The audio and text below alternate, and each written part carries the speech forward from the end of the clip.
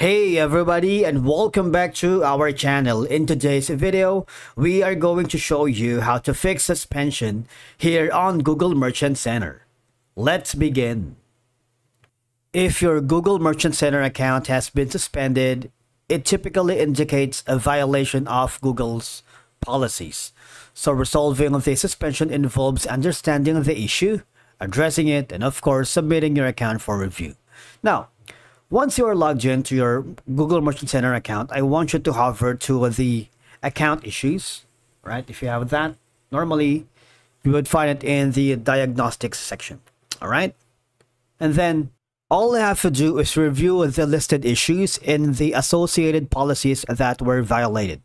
Common reasons includes misrepresentation of products or services, missing or inaccurate product data, website policy violations, restricted or prohibited products. How would you know it? When you go to the overview, you would notice you will be given a lot of um, notifications, such as this one, if you have maybe violated any uh, anything here. For example, I have so many um, issues right now. If you click this button, you would find a tab that says needs attention. All right. So one of the options is to improve your product discoverability.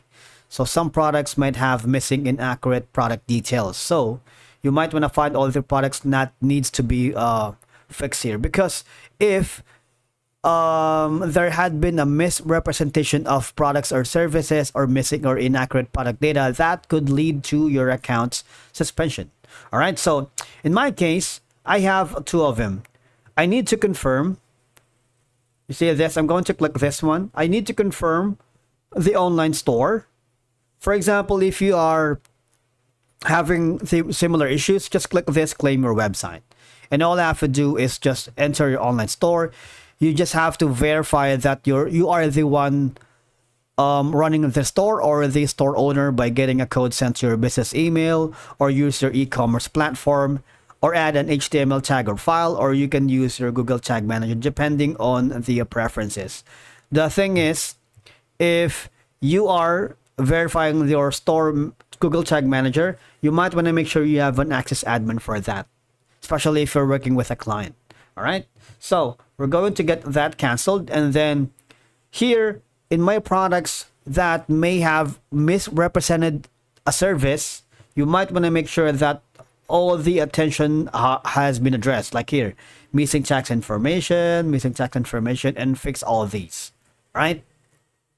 Now another option that you can go into is you want to make sure that you need to understand and carefully read the Google's policies including the uh, shopping ads policies all right? And again from your enter website product feed and business practices should comply with these policies. Not only with the uh, shopping ads policies, you might want to hover again also to the merchant centers guidelines and I really need you to understand the policies here. Want to make sure that your website, the product feed, and the business practices comply with these policies.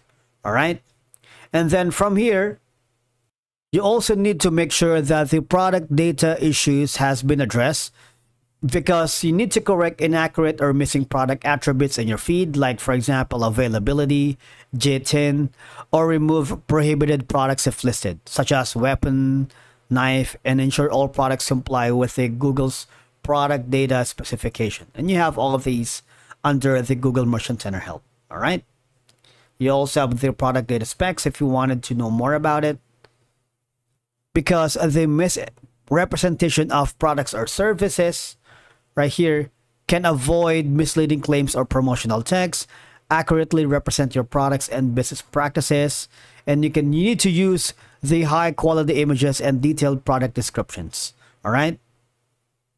You also want to make sure to double check your feed's website tool to validate your feed before re-uploading and the last option is going to be submitting an appeal. If you go here at your Google Merchant Center, there should be an option here to contact the Google Merchant's Customer Support Center. All right.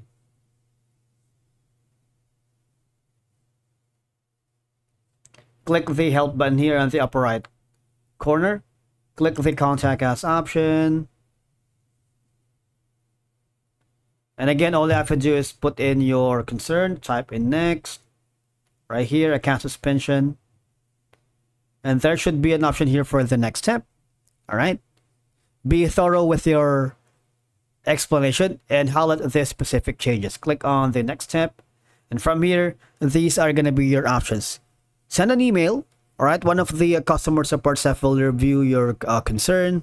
Google typically responds to appeals within few business days, but can take longer. And of course, you just have to monitor your email and Merchant Center account for updates. All right.